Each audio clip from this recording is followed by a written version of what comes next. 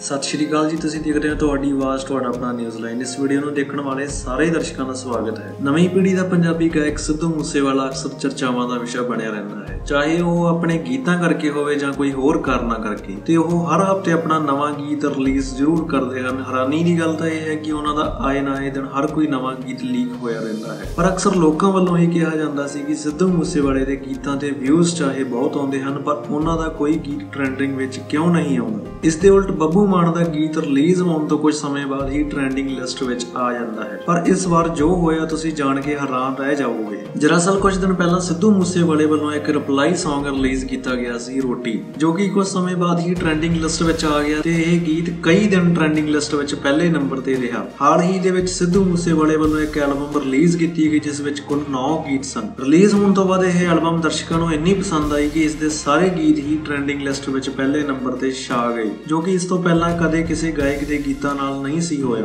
ਉਹ ਹੋ ਗਿਆ ਸੀ ਹੁਣ ਸਿੱਧੂ ਦੀ ਇਸ ਐਲਬਮ ਨਾਲ। ਵੱਡੀ ਹੈਰਾਨੀ ਵਾਲੀ ਗੱਲ ਇਹ ਹੈ ਕਿ ਇਸ ਐਲਬਮ ਦੇ ਕਮੈਂਟ ਬਾਕਸ ਵਿੱਚ ਕੋਈ ਵੀ 네ਗੇਟਿਵ ਕਮੈਂਟ ਨਹੀਂ ਸੀ।